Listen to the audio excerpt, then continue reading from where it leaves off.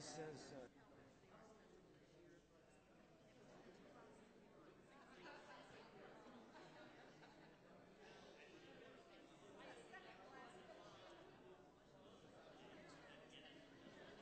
Yeah, that's a great picture.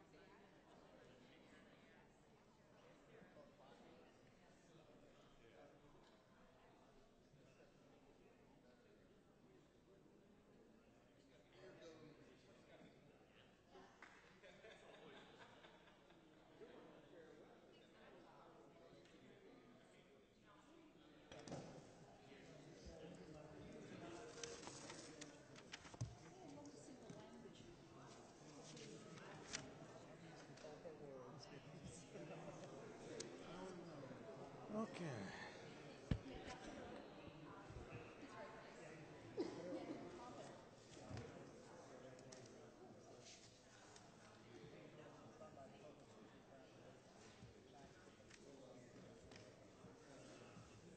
I can't believe how cheap that resurfacing is, but no question we get it done. I agree. Before we slap them on the price, I'm sure we keep talking. Yeah, yeah, we Get need to stuff make, for a big number. that seems cheap to me, but that's, that's good, yeah.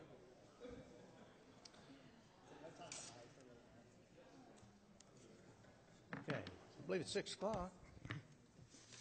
Ladies and gentlemen, we have a two-part meeting tonight. Actually, the first part is a public hearing, and the public hearing is uh, on a proposed ordinance amendment, Chapter 33 of nuis- uh, nuisances, uh, Article 5, noise control, uh, regarding construction and repair of buildings and so forth, and the times that they can operate. Uh, Would would ask our uh, Community Development Director to come up and kind of give us a brief synopsis of actually what this does. Yes, sir, Mr. Mayor, council members. This is a proposed amendment to the uh, Code of Ordinance of the City of Canton.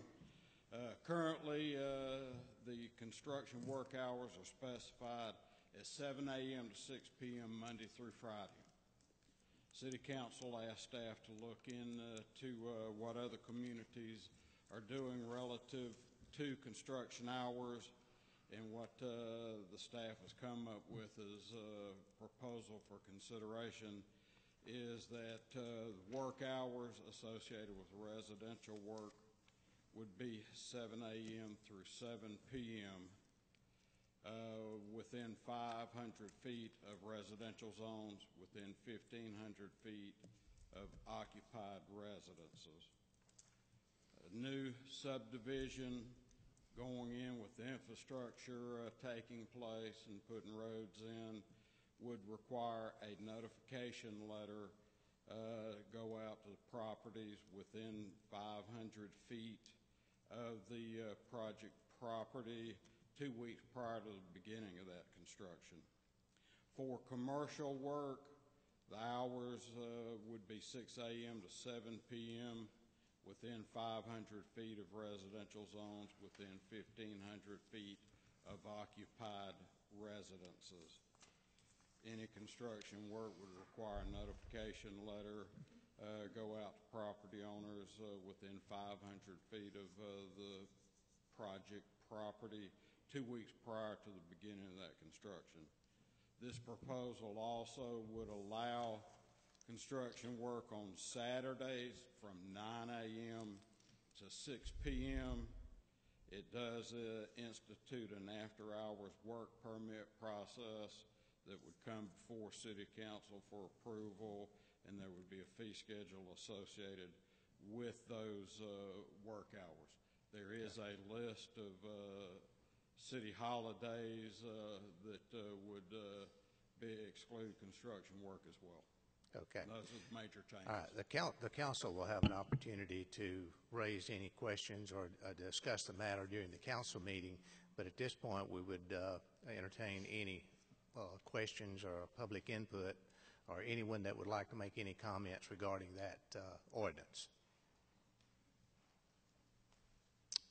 Okay, if not, we will, oh, wait, wait, wait, you'll have an opportunity when we get to the, to the, the uh, meeting, okay?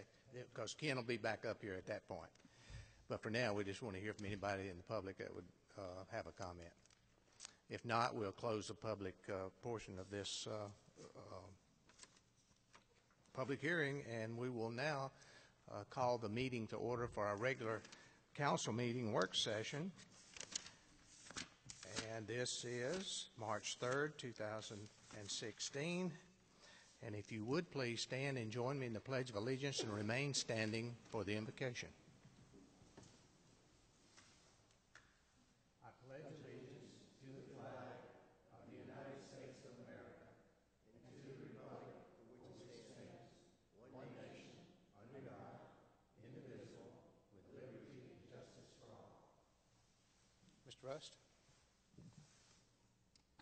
Dear Lord, during this presidential election year, please give us the wisdom to see through what is not true, to be able to make decisions based upon truth.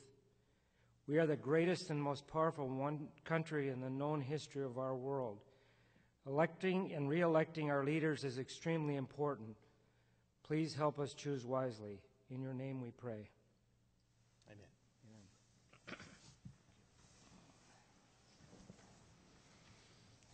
I'd like to welcome everyone here this evening.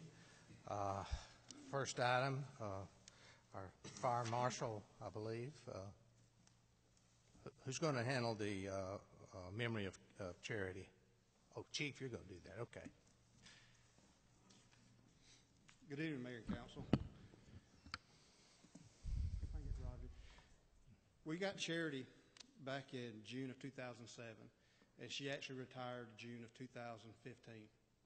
During her eight years with the city of Canton, she went to different schools, events, not only inside the city of Canton, but she also went outside into Cherokee County, even traveled as far as to Pickens County.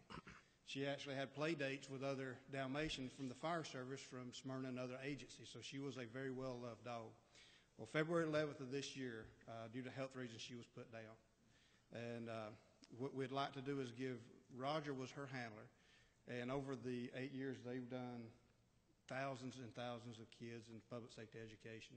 Uh, I think the smallest year they had, they touched over 2,000 people that year. Charity was a rescue dog from the city of Canton. She was actually rescued right here in our own city, and she was donated to us.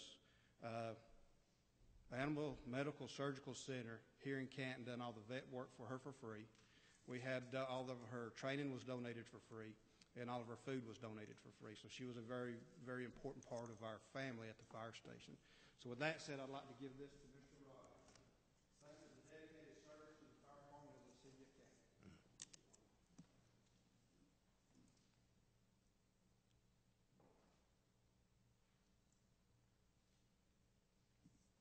All right.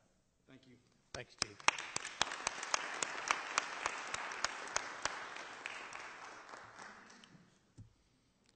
Okay, Chief, you can handle the next one?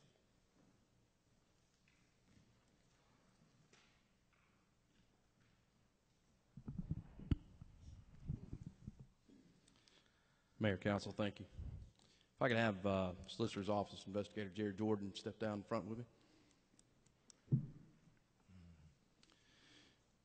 As a fire department, um, the police department, our community lost a very important um, canine that was a uh, served our our agency in the community from 2004 to 2012, Canine Pharaoh.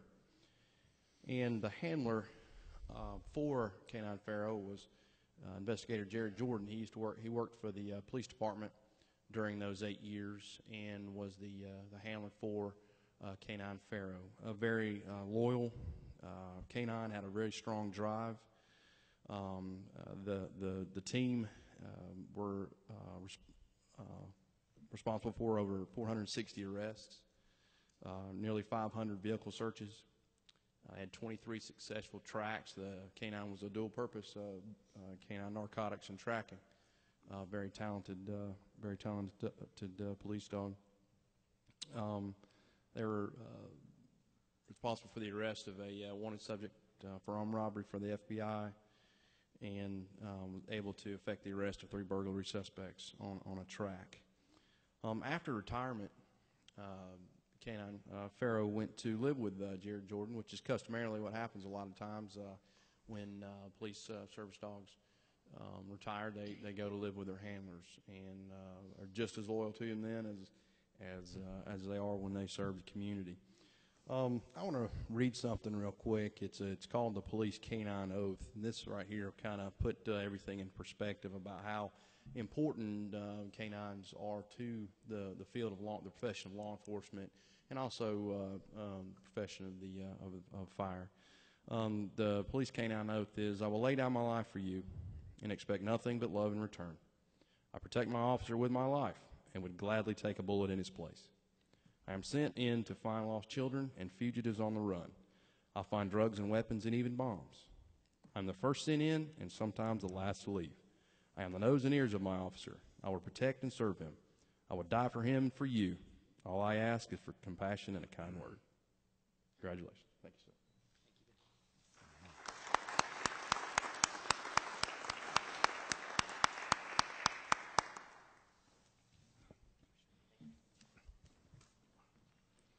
Thank you, Chief.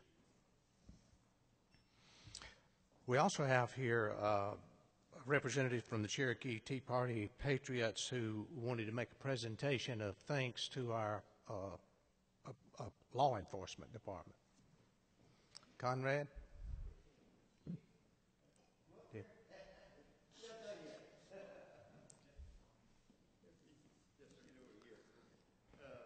Chief Mitchell, uh, the Cherokee Tea Party would like to present this thank you card to law enforcement, uh, to the to the Canton, uh, Police Department.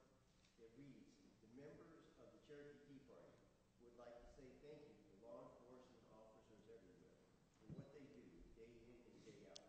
We so appreciate that every day they leave their families to protect ours.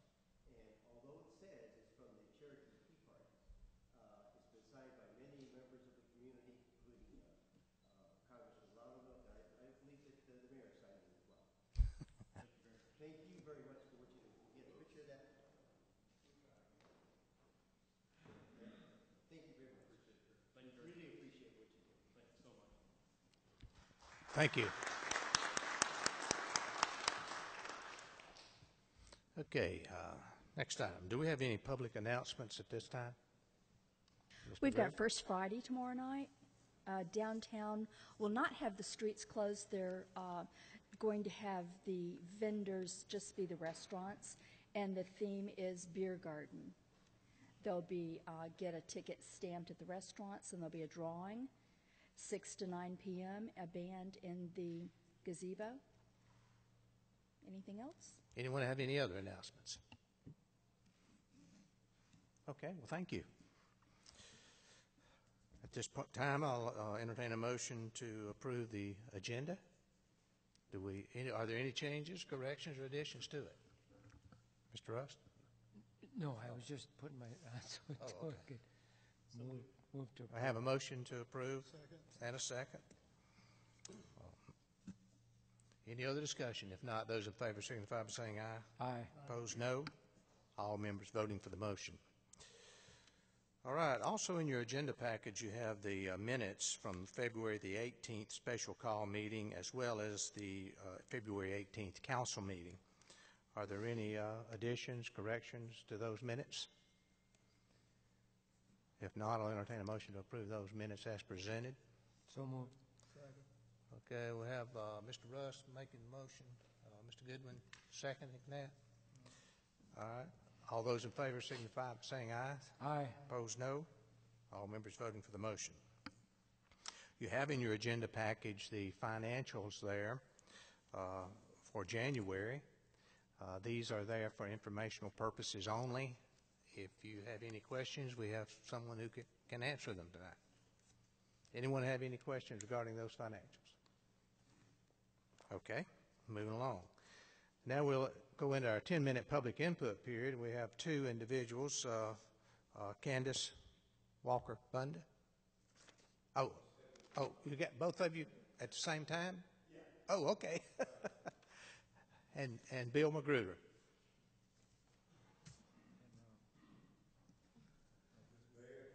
That's right.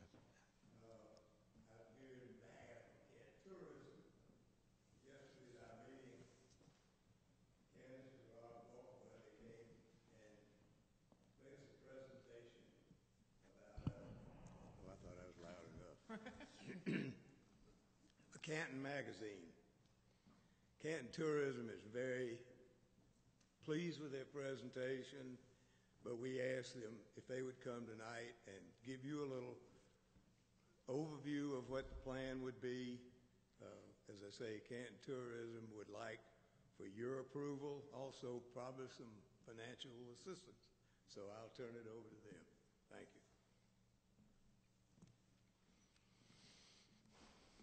Good evening, Good evening. Mayor and Council. It's nice to see you all tonight. I'm Candace Walker Bunda, I'm Rob Walker Bunda. How are y'all doing? and uh, we're here representing Bunker Design Collaborative. Uh, We have met two times now with Canton Tourism uh, in conversation about a promotional publication for the city of Canton. Um, We are interested in a publication that highlights the city, its development, its going-ons, um, the history of the city, uh, its businesses, and also, I think most importantly, its people. Um, This would be an annual publication, um, and it would be a promotional piece, again, like we said, for the city of Canton.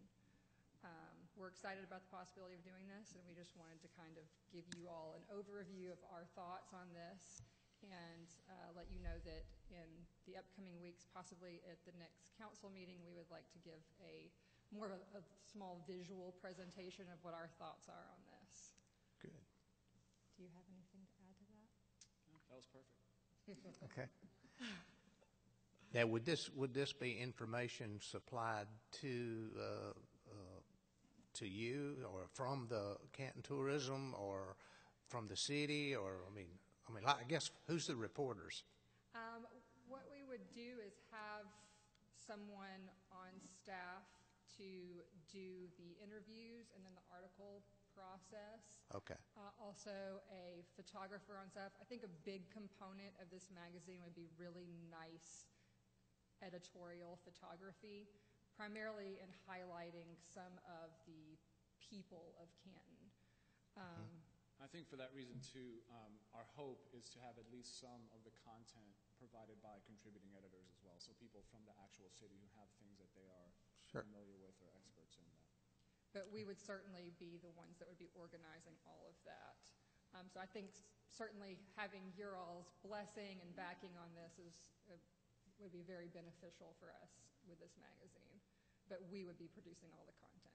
But the hope is to sort of get the ball rolling now so we have a full year of documenting all the going-ons in the city, all the first Fridays and events like that, the arts festival, so we have all this beautiful photography and coverage that can go into it and start to highlight these things year to year. And then the intent would be to uh, produce the publication and have it printed by March 1st of 2017. as we get into the next first Friday in spring, summer season. now, was there an, a cost estimate at this point? There is a cost estimate at this point. And uh, I can provide that documentation to you guys. I don't have it with me Oh, right okay, now. yeah, that's fine, that's fine. But I can certainly answer any questions that you have about that. But there is a Okay. cost estimate, yes. Okay. Anyone, anyone else? Uh, Ms. McGrew? This sounds like a great thing to do. It certainly would be great publicity for the city and good tourism tool. I know that tourism gives um, money, uh, an article to the Chamber of Commerce magazine. Would this be in lieu of or in addition to? Um, I believe it would be in addition to. Um, We haven't actually talked through all of the, those details, but I do feel like it would be in addition to. Thank you. Would there be ads in this? There would be ads in this, and we would also be responsible for uh, obtaining those ads and doing the ad sales for the magazine. And our thought at this point is that 50% of the funding of the magazine will be coming from ad sales, and then the other 50% hopefully um, from tourism, and then potentially someone else, the city of Canton, um, or other Right. people, other people who have a vested interest in the magazine. Okay. Anyone else? Uh, Mr. Rust? Uh, Candace, I have some questions, but you're coming back to us with more of a formal proposal in the next few weeks or two weeks from now? I'd, I'd rather just hold my questions until we see what you got in mind, and then we can Okay. start to think more concretely. Thank you. And just one more thing, I think the idea is for this to be a very high-quality material and, and uh, publication, um, not kind of a smaller, local, and not that there's anything wrong with that, but I think that we're looking at this as a very high-standard and high-quality magazine, um, a really nice representation of the city of Canton. Good. Anyone else? Okay, thank you. We'll look forward to the, when, when you're coming back, next meeting or next You'll have month? us, yeah. When? You'll have us next meeting. That's when Yes. we'd like to make Oh, okay. Seven- 16th, 15th, S- 15th? Seven, seventeen? 17th, Yes. 17th. Yeah. Yes. Okay, great. Thank you very All much. right. Thanks, guys. Yeah. All right. Under old business, we have an update on the progress of Northwest Canton Fire Station. Uh, Councilmember Grant. Yes, the Fire Services Committee met yesterday, March 2nd, to get an update on the revised plans and schedule for the Northwest Canton Fire Station from the architect, Gary Watkins, and Chief Floyd. The proposed design includes approximately 8,500 square feet. Um, Just for reference, the uh, two new county stations are 11,000 square feet. So we're hoping that the smaller size of the Northwest Canton Fire Station will equate, equate to some cost savings over the recent county ones. The revised plans include replacing the two drive-through bays with back-end bays due to some site issues, but the original functionality of the station design remains intact. The station will feature brick, stucco, and Hardie board shingles on the exterior to blend in the surrounding community uh, at Laurel Canyon and Soleil, Great Sky. In addition, the construction materials and methods are of the highest quality to ensure longevity of the station and to maximize energy efficiency.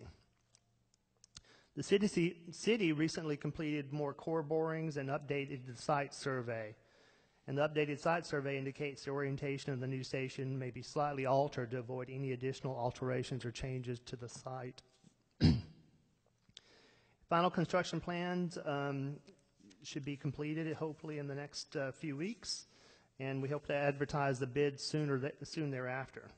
Final bid should be received around the beginning of June, and the revised schedule should allow us to make up uh, 30 to 45 days in the process and advance the completion uh, uh, completion date later this year, so late this year. So everything's on track. The the new drawings look great. The the final, I think, construction plans and drawings will be done, I think, in- said in the next two weeks to present to council. So uh, we're, we're on schedule and hopefully are going to be a little ahead of schedule uh, going in and coming out of the bid process. Thank you. Mr. Rust? Um, Bill, uh, when we, when we last had a meeting about this, I th- I'm not sure if it was an executive session or whatever, but there was a concern about borings and, and the rock, bedrock that had to be hit to put the station where they wanted to put it. Are they good with that bedrock boring? Did they hit what they wanted to hit? Or Yes, do the they have to borings- alter it again? No, the borings came back satisfactory, and again, um, with a slide orientation. uh, Because, because of the to bedrock, because of bedrock? Uh, No, I think the bedrocks was fine. The corings were, were, samples were fine. Uh, Orientation of the slide is being altered just a few degrees, so there's no additional work to the slope behind, behind Okay. the station. so- Thank you, thank you. thank But you. we're, I think we're in good shape. Thank you. Thank you. Thank you, Bill. Item B, discussion of the old ball ground sanitary sewer replacement project bids. Mr. Peppers? Mr. Mayor and Council, um, as you are aware, we had a project out to bid for a new sanitary sewer line uh, that is known as the old ball ground line. Um, It's approximately 6,800 feet um, of uh, sanitary sewer gravity pipe, 800 feet of sanitary sewer force main, and 1,000 feet of water line associated with that project. Uh, We received six bids, the high bid being $4.1 million, and the low bid from Cam Contracting, uh, Cam Contracting Southeast of 3.2 million on the project. Uh, The original budget uh, for that project last year was about $2.6 million. Uh, The cost uh, of that project going up because of the cost of materials, not so much the cost of labor. A Couple of notes on that. Uh, When the project was originally bid out, based on the fact that we thought the project would be under $3 million, it was bid out using um, a- a bid uh, document that meets state requirements as it relates to financing. If we were to go after GFA funding, we follow a different set of requirements than if we were going after federal uh, uh, financing. Um, With a project coming in just over $3 million, 3 million's the cap for GFA financing. Um, So if we wanted to do federal financing, we would have to go back and change some things in the bid document, and that would alter the price uh, because we would be following Davis-Bacon. Um, At this time, uh, we're at a cash position that if we wanted to pay cash for the project, we could. It would, it would definitely hit into our, our cash position on the water and sewer. Um, But we would be able, at the very least, to pay a significant amount of cash so that we could stay under the state funding if we did decide to go after a GFA loan. Um, The way the project is set up, uh, the project has 270 days to complete uh, once the contract is signed. Uh, There's a liquidated damages uh, for any day past 270 days that we have to go. I think Bobby's reviewing, uh, reviewing the contracts now on that. Uh, The company feels that if they can get the the bid awarded to them, that they could start before the end of the month, 1st of April, on the project. Um, Their hope is to get about 40 feet done a day. Um, Because of the nature of the work, there's not going to be very much subcontracting. Uh, It'll be done pretty much by, by the contractor themselves. Uh, We have worked with the contractor before. Uh, They have, uh, they've done work with the city as it related to, um, to our lift station at Pea Ridge that we just had done. They also did some work for us on Marietta Road. As we were doing our streetscaping there, they did the replacement of the water line in that area. So we do have a history with the company. Anyone have any questions? questions about that? Ms. McGrew? If we were to get the GFA loan, how much is that interest right now? The GFA loan financing is just a hair over 3%. The federal financing is just a hair over 2%. Uh, The difference being that if we go with the federal financing, we have to go with the Davis-Bacon wage limits that are placed in there, uh, which could drive the cost of the project up, so you may not see any benefit from the percentage point. And we need to vote on this next time? Okay. And one, one comment that I would make too on this is originally, if you'll recall, when we brought the, the Pea Ridge lift station issue up to you uh, late last year, that was an emergency item where we had the, the, the issue with the pumps at that lift station. We spent about $480,000 on that project. We spent that money, uh, we paid for that project thinking, depending on what this project came in on, we might roll it into our GFA financing. Um, But the project's already paid for. Uh, It wouldn't make much sense now, given the price of this project, to try to roll it in. So we would not be looking to finance that project anymore, and that's already accounted for in our, in our financials that you saw from January. Thank you. Mis- Mr. Grant? Yes, uh, does this include, or this is above and beyond um, the work we did there at the new QuikTrip? It is above and beyond. We spent about a hundred and forty thousand on the QuikTrip section of the line. Okay, and was that funded out of the cash position? We've already 400? paid for that, yes. sir. Okay, thank you. Anyone else? Okay, you want to move into the uh, easement for Georgia Power as a result of this project? Uh, You'll see, you'll see an encroachment agreement with Georgia Power that relates to uh, some area that we'll have to get into as it relates to this project. Uh, This is a kind of a standard agreement that we have with them. We, we, we will have other agreements that may pop up uh, related to the project that we'll have to bring before you as well. But we want to go ahead and knock them out as soon as we can. Okay. You wouldn't have any question about that? That's just something we have to do. Okay. All right. Let's see, discussion of the financing of the old ball ground sewer replacement project.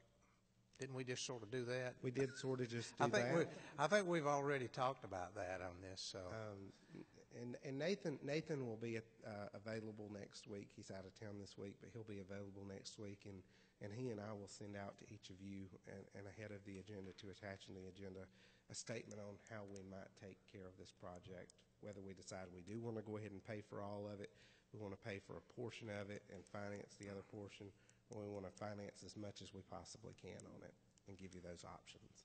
Okay, thank you. All right. City manager's report. Oh, I'm sorry, we got one other, didn't we? Yeah, we got the, oh, you going to ask a question? Oh, on which one? Oh, for Ken. Okay, discussion of the, this uh, ordinance that we just held the public hearing on earlier tonight, uh, noise ordinance. Go ahead and ask the question. Ken, my question was simple. I, I, it looks like we're just changing the hours and defining what hours we'd like people to use.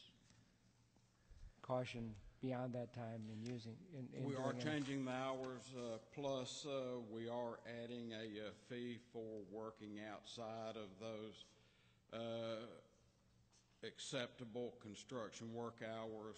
Plus, we're also adding that notification to residential zones and occupied residences that currently is not in place with our uh, construction hours uh, section under uh, nuisances and noise. Part of this was in response to the problems we had with the hospital, part of it. That was. I'm not sure that the, it was 100% because of that. It was a leading factor. There have been uh, numerous uh, proposals that have come before City Council in the last few years relative to uh, working outside of uh, the approved construction hours, and City Council asked us to uh, look into some uh, potential changes to the regulations and bring it forth to City Council for y'all's consideration. We have never had uh, fees for after-hours work before, No, sir. so this is new. Yes, The sir. purpose of the fees is to discourage people from asking in the first place. If Correct. they have to, they can do We, it. we looked at between 40 and 50 other uh, local governments from across the country, Georgia, Florida, North Carolina, Tennessee, Louisiana, Texas, Minnesota, Colorado, and uh, there were quite a few of those that did have a fee uh, in place. The proposed fee that uh, is included with this amendment is sort of an average of all of the fees that we saw within, uh, we looked at between 40 and 50 different regulations, part of putting something together to bring to city council. Now, the last and most important question is, a few weeks ago, we came and you asked us for permission to work on a weekend on our bridge. What do we do as a city when we want to work on the weekend? Does it, does that come up before the council? Obviously, we're not going to fine ourselves, go out of one pocket and into the other. From So, a- go ahead. Uh, From a purely technical standpoint, uh, from a constitutional standpoint, local governments are exempted from uh, complying with their own regulations. This goes all the way back to uh, court rulings and opinions back into the 1800s. But uh, the city, uh, as uh, Mr. Hatabian did with uh, that project, uh, did come before city council because it was a private contractor that was doing that work. So we, we did that on behalf of the private contractor. So the, because it's a city contract, does that mean the the burden falls on us to do anything or the contractor to do something? Well, in particular to that project, it's a little bit different because the private contractor was not going to earn any more or less money based on how quickly they could get the project done. We chose to do outside of normal hours and on a weekend uh, because it was the best time scenario to get the project done in one, in one snapshot of time that had the least amount of impact on public safety. Convenience Whereas to the If you're dealing city. with a private contractor, they may be dealing with different times to try to make money or try to save money. In that instance, we were trying to protect public safety, so there's a It- difference It there. seems like there are certain provisions of the new code that we should, we as a city should also do, which is notifying the people within 500 feet that we're going to do this. And two, come before the council as a requirement. A- And, and we do. I mean, anytime we're going to shut down a road, we do that. We notify them through our Oh, code red okay, so- system, we notify them on our website, we notify them in our public Okay. meetings and through our minutes. We do put We signs don't, we don't up want to as well. exempt ourselves from something that's important to the residents. Absolutely. Okay, thank you. Mr. Mayor, can I? Uh, Go ahead. On the fee, I want to be clear on one thing. The fee is not based on the desire to keep people from asking for the permit, since the law only allows us to charge a fee to recoup our administrative cost. So the fee, the fee would be set on the estimate of how much it would cost us to oversee people working after hours and to process that application. Yeah. I know Mr. Patton knew that. I just want, Thanks for making that clear. No, I, you know, I sort of got a couple of comments here, one of which is the problem we're solving, to me, is not about the time an activity takes place. It's more about the activity itself and the noise level that it generates. Um, I mean, I don't know how, how you do that exactly. So I don't, you know, Saturday's fine with me, whatever. I mean, you know, as far as that goes. Uh, but you know, if the holidays, another thing, I, I don't. The city can decide what holidays we wish to take, but I don't believe we ought to be telling private citizens of our city which holidays they have to take. I don't believe that we should tell a contractor that he can't go to work on the Friday after Thanksgiving or Christmas Eve. I mean, it'd be nice if everybody could just take a whole week off or whatever and, and do nothing. But to me, I, I, I'm not sure that would be, it's appropriate for us to tell them what holidays actually to take. But that's just my thoughts.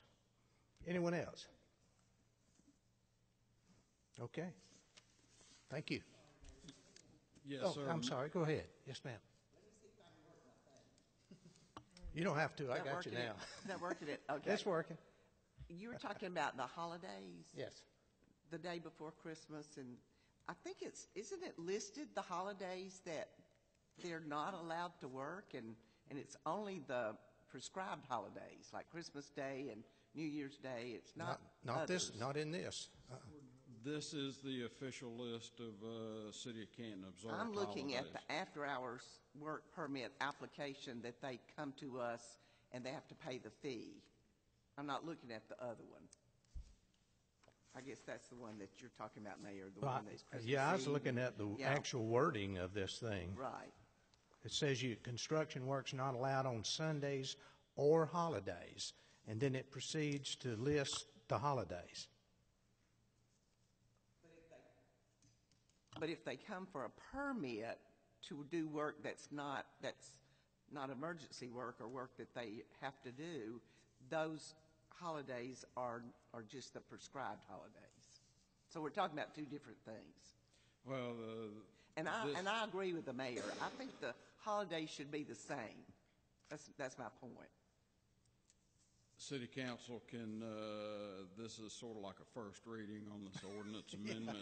Any Yeah. Changes that City Council wants to make, any of uh, the uh, Canton holiday dates that you would wish to delete, uh, that w- they could work without having to come before council with the uh, extra hours or after-hours uh, construction permit process is uh, certainly uh, up to the council. The, the idea to me is you don't want to bother people, okay? You don't want to disrupt the peace and quiet of the neighborhoods and so forth like that. But if I want to go out and I want to work on Labor Day, and I'm not going to bother anybody, I don't know why I shouldn't be able to do it. I, I think one of the reasons why in this first draft, we've placed the city holidays in there, is the fact that if, if there is a need for a city employee to go out and do an inspection on that day, it is a day that the city has already set as a holiday for that employee. So we're going to have to call somebody in to do an inspection. Now, if that's the wishes of the council, that's fine. We just, we, when we first took a shot at what, what days we were going to have listed in here, it was easier to go with what the city already considers a holiday, and then we can weed that down if that's the desire of the council. A contractor doesn't call the city on Sunday for an inspection, right? Some That's becau- contractors. That's uh, because they're closed. If the city's closed on the day before Christmas, the contractor's got to wait till the city's open to call And them for an technically- inspection. And technically, if there's an emergency, we're going to send somebody out anyways. Well, eh, yeah, if it's an emergency, sure. Uh, The city does have a dedi- a dedicated uh, telephone number uh, for contractors to call to uh, get uh, inspections scheduled. We do uh, require notification like uh, building inspections. They have to call that in uh, 24 hours in advance prior to getting that inspection so that we can work our scheduling out and things of that nature. And a lot of the builders, contractors might will call in on a Sunday or a Saturday knowing that they need a certain inspection on a Monday or that sort of thing. I'd just like to see us be consistent with the holidays from the, the, uh, the one that they have to get a permit for and the other, Yes, ma'am. that those holidays are consistent. Consistent with that. Mr.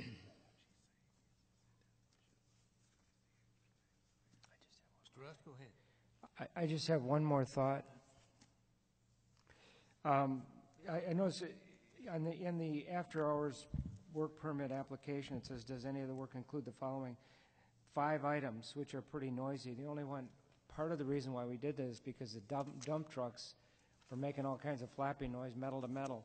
Now, what happens, in that case, that's not listed certainly, but it's one of the things we're trying to protect against and cause people to have to get a permit to make those kind of noises. But on the other end of the extreme, what if someone absolutely can prove we're not going to do any, we're going to do inside work in the hospital, whatever.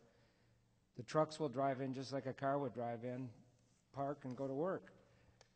Could they exempt themselves from those fees because they'll say, we're not going to create any noise. We're going to work, but we're not going to create any noise.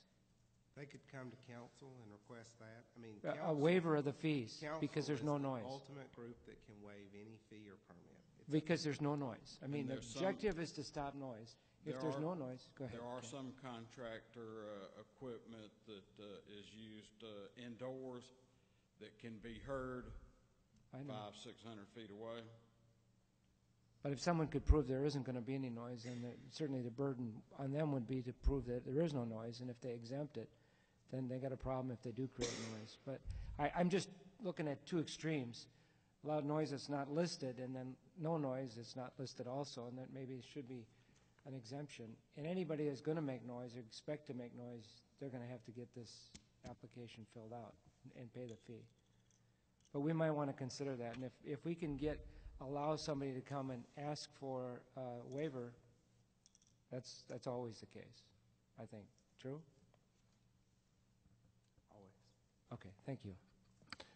I, I- I just noticed what Ms. Wilson was talking about there on the application. The application holidays are different than on I've the, gotta- than the ordinance. I've got Okay, to make that amendment.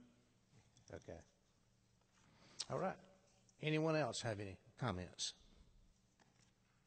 All right. City managers report?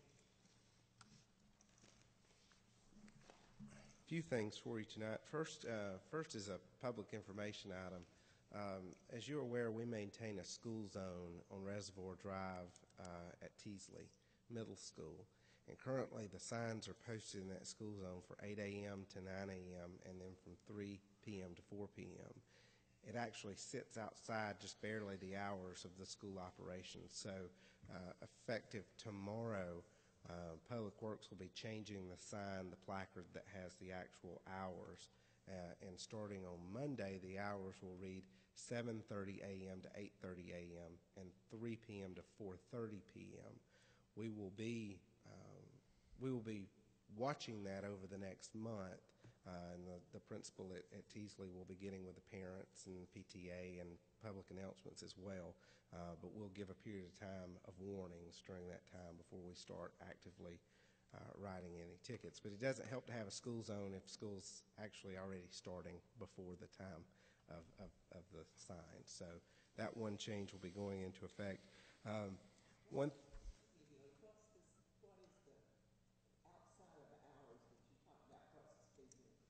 uh, 35. Except for the times during that, during that school zone, correct.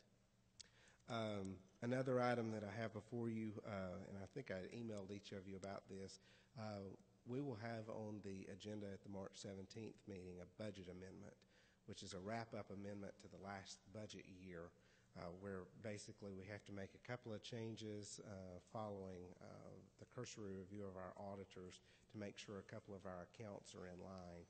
Uh, And so I'll be bringing that to you at the next meeting. We'll need to get that a- approved at the next meeting. Um, We have, um, we have received a contract um, that I would like to ask some action on from council tonight um, from uh, 20th Century Fox. Uh, They would like to utilize our two properties that we acquired from the Board of Education for filming uh, in the next couple of weeks of this month. Um, We just received the contract today. We went through a revision with, with Bobby and we were able to get our terms added to the contract. Um, But we need to take some quick action on it to have that done. There's two things that they've asked us for. The first thing is to be able to use the facilities, and they'll pay us $2,500 for the filming for that. And then the second thing is, is a little bit of a strange request that they have of us. Uh, The movie that they are shooting is of a 60s era film, and there are some particular light fixtures within the mill office that they would like to lease from us during the next two months uh, uh, to be able to use at other sites because they can't find any just like them. Um, And so they would lease them for that period of time, and they would insure them for that period of time. Um, And, and we would come up with a lease rate to give to them for that. Um, but again, you know, it was not in time for the agenda. I would ask the council to consider adding this to the agenda tonight so that we can get this done. This, this is not exactly a life or death emergency, but there's a, there's a time frame there that, that I think would, would qualify, and, and, and it's not anything that, uh, we probably shouldn't go ahead and, go ahead and deal with tonight, because of the time frame that they're gonna start filming and everything, which is well bu- before our next, uh, meeting. So, Correct. Um, Ms. McGrew? Will the filming company reinstall the light fixtures when they're finished with them? They will, they will, they will disassemble them. Uh, They will be insured during the entire time that they have them, and then they will reinstall them Thank at you. the end. Anyone else? Mr. Rust? I have uh, two things and, and then a comment. Is it $2,500 for as many days as they use it or per day? It's twenty-five hundred dollars for a period of time, the period of time being from March seventh to March twenty-fourth. Um, If they need it after March twenty-fourth, they'll pay us an additional thousand dollars. For that whole time period? Yes. They got off cheap. Second question is, is it, just look at your paperwork there, is it 20th century or 21st century? Twentieth Century Fox. Really? I thought they changed their name, but maybe they changed their corporate name uh, and not their. or And- name. and- Here, and- let and me give you a personal experience. I had 70 people in a home I owned one time filming, and they take every everything out. They they have metal detectors. They go around and get staples out, everything out. They're they're wonderful. So I wouldn't worry about that part. Replacing things exactly the way they were before. They take pictures to make sure that they it's perfect. And I would just mention that the fee that's associated with this is the same fee that the founder paid when they utilized space in downtown. It's not much. But it gains a few folks coming in town, see what's going on. Oh, We get a little notoriety out of it, you know. That's I mean, good. I- It's good for the city. Yes, It's good sir. for the city. Thank you. Mr. Grant, did you have something? Yeah, I'd li- just like to make a motion to go ahead and approve the contract with 20th Century Fox. Have a motion and a second. All in favor signify by saying aye. Aye. Opposed, no. All members voting for the motion. Thank you. All right. Um, The last thing I wanted to bring before your attention um, is that, um, well, two, two things as it relates to the Environmental Protection Division of the state. The first is that uh, they have, um, they have agreed to give us 8 million gallons of capacity on our wastewater allocation. We just got that this week, yesterday. Uh, In addition, they did their sanitary survey of our water treatment plant, uh, which is done every three years. Uh, And that's where they inspect the facility, they, ins- they, they talk with our staff, they look at our equipment, they do kind of a, a a white glove check, if, if you will. Um, We scored a 93.4 on that, and, and where that is significant is that back in 1999, we were about at a 60, we were in the high 60s. So we've seen some great improvements in our, in our efforts down there at the water treatment plant, which I think is a great credit to utility partners that, uh, that operates that plant for us. So I wanted to bring that to your attention. Okay. Anything else? I have a question for Mr. Oh, I'm sorry, go ahead. That's okay. Cherokee High School, Hasty Elementary, and Canton Elementary have flashing signs when the speed limit is reduced. Why doesn't Teasley have that? Whose responsibility is it to have a flashing sign for reduced speed limit times? We can look into it. Thank you. The other, t- the other schools are on state routes, right? And that may be there, so I would suspect it's, it'd be up to us probably Yeah, to for do that. Correct. But that is something that we can look at. And, and I think, I think part of it too was the fact that there was always a potential for development across the street from Teasley and the, and the thought was that there would be a traffic signal there and that would naturally slow down. But since there's not one there, I think we can look at those, those as well. It's a natural speedway. Yes, ma'am. Thank you. Anyone else? Okay, if not, I will entertain a motion to go into executive session to discuss real estate disposition. So moved. Second. Motion is second. Those in favor signify by saying aye. Aye. Opposed, no. All members voting for the motion. We will not be coming back to, coming back out to, for any votes or anything.